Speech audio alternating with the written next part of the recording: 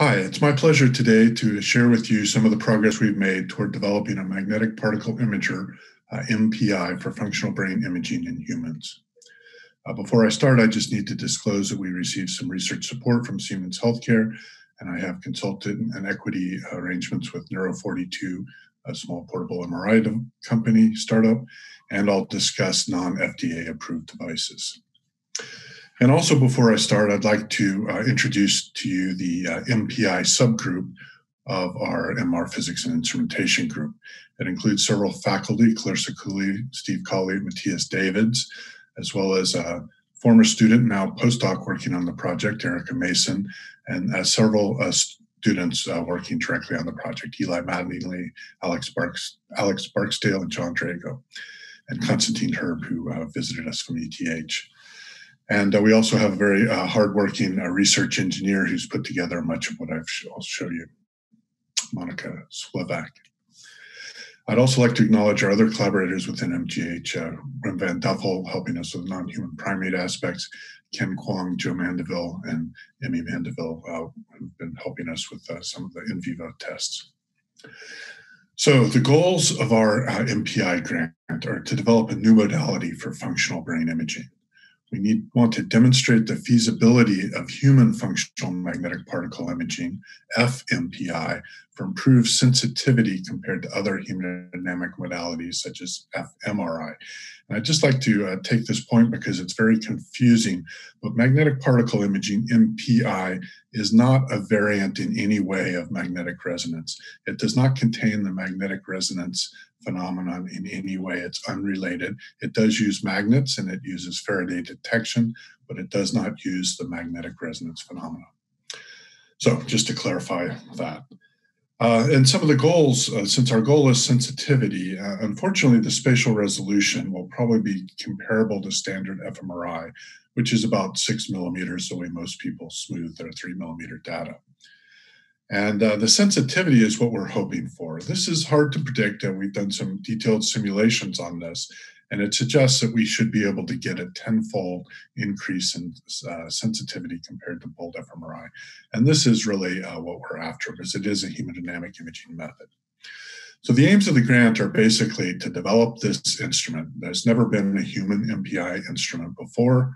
Uh, we're going to develop the first one, and there's never been a functional uh, MPI. There's never been a human MPI system of any kind, and there's never even been an animal functional uh, MPI system. And so we need to develop both of those for the first time. And of course, the second and third aims are to validate these in phantom animal and ultimately human experiments.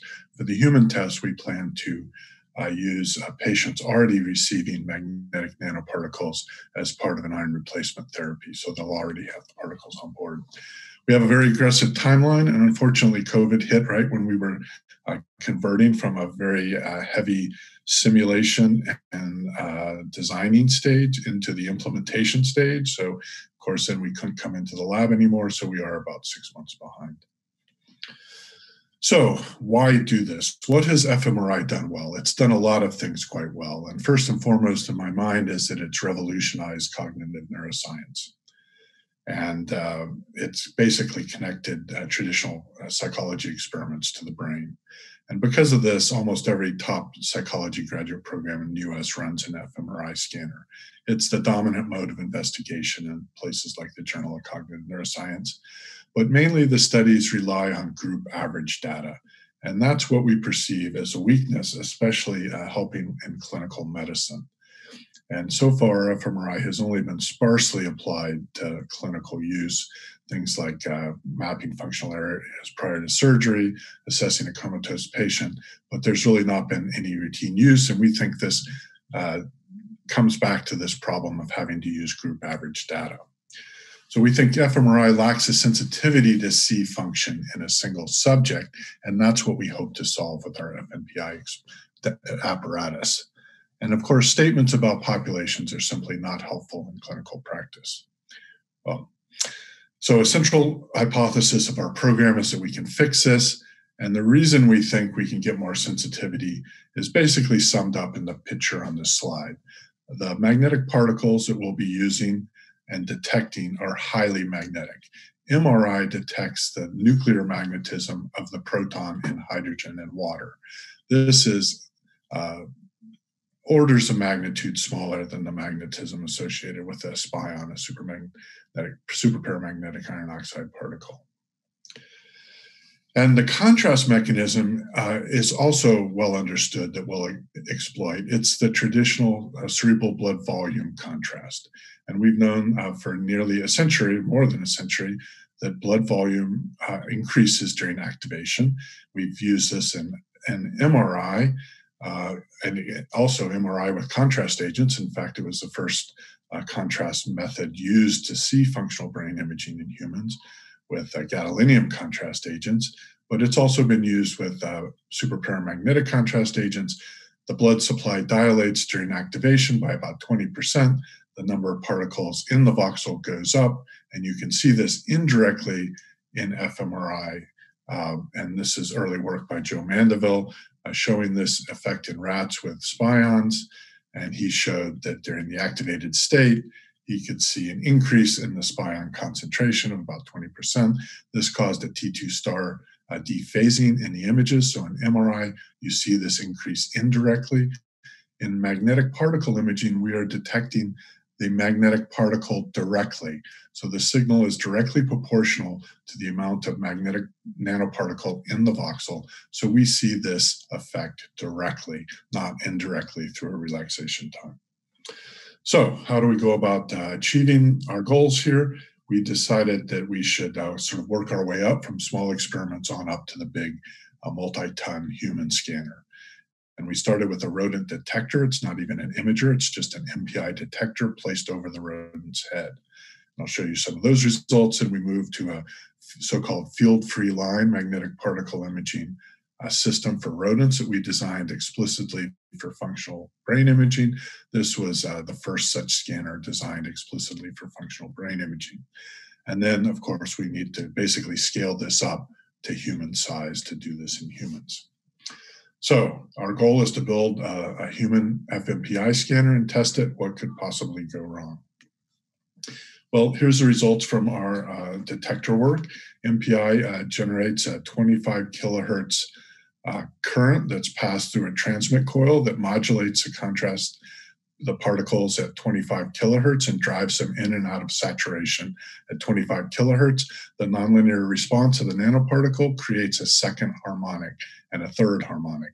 We detect the third harmonic, um, and this is proportional to the amount of iron present. And nothing else in the body generates harmonics like this. Nothing else has that nonlinear magnetization curve. So we know we're uniquely detecting uh, the magnetic particles when we see uh, this increase, say, during uh, activation um, in the third harmonic signal. So this simple detector system just applies a 25 kilohertz sine wave and detects the third harmonic response. And we tested this on the rat brain uh, in a hypercapnia experiment where we alternated between hypo and hypercapnia. And uh, this was five minute increments, and you can see the response of the third harmonic signal as this function of time. It has this classical uh, blood volume changes that we know will happen during hypercapnia. And the signal to noise uh, and the contrast to noise of this effect was quite uh, was quite satisfying. It was about 50 to 1. Uh, it was also repeatable uh, from rat to rat and from run to run, as we've just shown some aggregated, aggregated data here. Uh, here shows the uh, increase in signal as we infuse the particles, and as expected, as you infuse more particles, it linearly uh, increases with the number of particles present, little gap, and there's some clearance, which happens very quickly in the rats, much slower in the human. And what's noticeable about this is that when there's higher levels of contrast agent on board, we see more variance in the signal. That shows that we're picking up uh, physiological fluctuations in the signal level, uh, likely due to CBV fluctuations in the brain. This is, of course, the uh, sort of signal that we use in MRI to do resting state functional connectivity. So uh, it looks like more noise, but it's actually a very interesting signal source and might lead to functional connectivity with FMPI. So the next step is to do this with imaging. And for imaging, of course, you need to take an image every couple seconds, develop a time course, and see the modulation from the task activation. So to do this, we built a, a FMPI rodent machine. This is the bore size is scaled just to hold a rat. And it has several components. These gray magnets here are permanent rare earth magnets that create a, a so-called field-free line gradient so in the center, there's zero magnetic field, and then there's a gradient across the animal's head of about 2.8 Tesla per meter. This gives a spatial resolution of something around two millimeters. And then um, when we sweep this uh, zero crossing by applying current to these diamond shaped shift fields, uh, we generate a projection because uh, MPI detects the total sum along this field free line. And then we measure that as we sweep it across the head.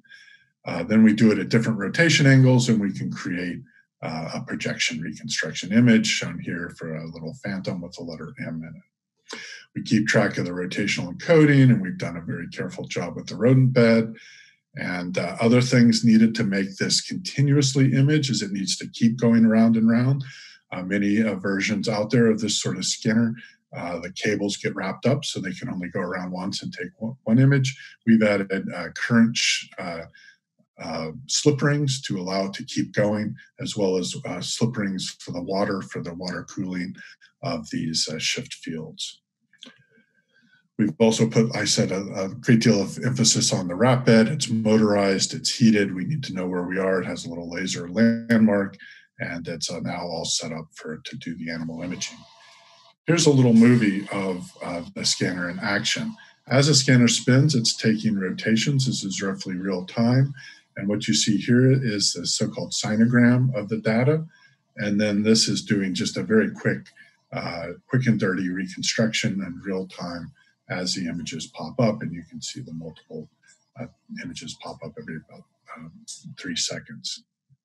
So this is the scanner software that we've been working on. And luckily our human scanner has exactly the same architecture. So we can uh, use exactly the same data acquisition and software for the human scanner. Uh, just before COVID hit, we started to do some uh, some rodent studies with this system, and here's a hypercapnia now uh, with imaging involved, showing that we can see these hypercapnic periods uh, in an image of the rodent brain as well. Unfortunately, we hope to, to start this up again uh, soon uh, now that we are back in the lab. So some recent updates for the rodent scanner are um, improving the duty cycle, adding broadband multi-harmonic detection. This is helpful for the reconstruction and the signal to noise and to purge bad materials in the bore. Let me move on quickly to the human scanner. Uh, here's a, a, shows the same thing, basically scaled up. Again, the gray is a rare earth magnet for the FFL, and then the copper colored stuff are these shift coils. Uh, we uh, design these uh, neodymium uh, iron boride magnets to give about a one Tesla per meter gradient. They weigh about 650 kilograms. They're currently being fabricated in China, so they're about half done. We hope to get them in a month or two. The shift fields are done with the copper electromagnets, and this generates a lot of heat, about 50 kilowatts per side. And so we use a hollow wire uh, to cool those. It's a very stringent cooling. Here's some of the magnets being put together in China on the back plane. And we've been putting together these water cooled shift magnets in our lab. So here's the winding jig that does that. And you'll see Monica working at about 8x speed, uh, winding uh, one of these so called pancake coils. We'll put about 350 amps through it, 700 volts and this is a hollow wire uh, for water cooling. And uh, here's a stack of coils. You can see she's been busy winding these. These are now off at a welding shop having these water manifolds put on so we can have parallel cooling circuits. It's been important to us to have a very full mechanical analysis of the structure, including deformation and stresses within the structure. These are magnets. They have high repulsive uh, fields and they have to be kept in place. It's also rolling on this gantry, and uh, it came back from the welding shop a little out of round. So this is a, a movie of it being ground into round in our lab by this uh, belt sander, basically. But now it's uh, very round and uh, rolling quite well. Here's a graduate students rolling the device uh, from the lab with the belt sander into the shielded room where it will actually be used. You can also see the big gear uh, used to uh, turn the thing. Uh, the magnets weigh um, several tons, so it takes a, a, good bit of torque to turn these. It includes a, a disc brake and a clutch, as well as a braking mechanism on the motor. And finally, uh, just recently, we've got it spinning in the lab you can see that the places for the magnet is are waiting for the delivery of these electromagnets from uh, these permanent magnets from China. So more jigs. and when we get the magnets, we'll have to assemble them in the wheel. This takes a special mechanical jig because the magnets are repulsive and you don't want them to flip and then attract. And we've also made jigs for soldering these water manifolds. That's out in the soldering shop as we speak. I just want to end my talk with a little plug. Uh, this is a dissemination meeting, and we've uh, elected to put everything we do in, in, as much detail as we can in an open source uh, GitHub page uh, designed around these projects. So anybody they want can download designs, CAD files, board files, 3D printing files, uh, whatever we have for the project. It will be made available on this uh, dissemination site. So thank you very much for your attention, and I'm happy to take any questions that you might have.